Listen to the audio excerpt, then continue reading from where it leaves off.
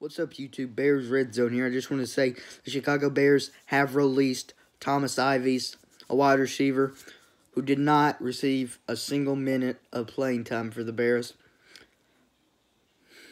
I mean, it's not like it was somebody good, but I wish him the best of success and luck going forward. And remember, let's go Bears.